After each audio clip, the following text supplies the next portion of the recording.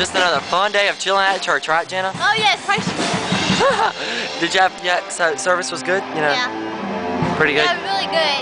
It had the thingy Had a thingy? teeth. Oh yeah, it was a really good service. yeah. Jenna, you know what else is really good? What?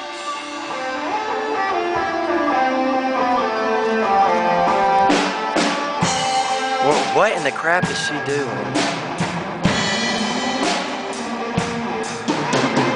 What